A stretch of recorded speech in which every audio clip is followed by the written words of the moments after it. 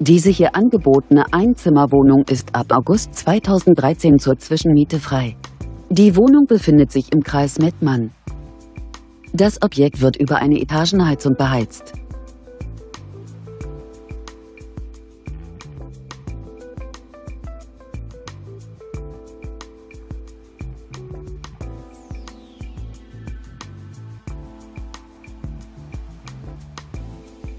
Bei einer Wohnfläche von ca. 35 Quadratmetern beläuft sich die Pauschalmiete dieser Wohnung auf 690 Euro pro Monat.